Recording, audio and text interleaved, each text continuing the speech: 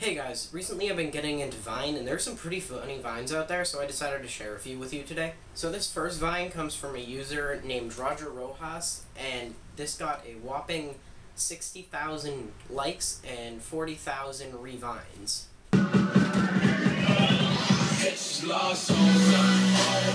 There's just so much to take in with this Vine, so I decided to break it down for you. So first, a man is coming out of the closet. Second, he's coming to a realization that there's music playing. Third, the bass drops and I have no clue what the hell happens after that. Alright, so I took the liberty to try and attempt that for you, so, uh, here we go. Okay, well that didn't work. I think I broke my wrist. Our next vine comes from a user named in Crossin, and it only had uh, a mere 2,000 likes and 700 revines. But it's still pretty funny, and I think we can safely say this vine sums up my entire life. Yo, this girl is all on me. She's thirsty. But yo, let me call you back. Yo, let me get your number! Let me get your number! You may think a stud like me gets all the girls, but to be honest, I don't get any.